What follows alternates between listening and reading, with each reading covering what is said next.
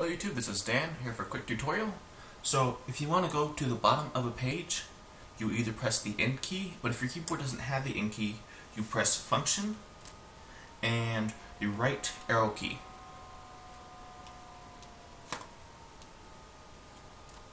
So let me go ahead and select this window, Function, right arrow key, and you're at the bottom of the page. Now to simulate the home key to scroll to the top of the page, you press the function key and the left arrow. If you have any questions, just leave a comment and I'll respond.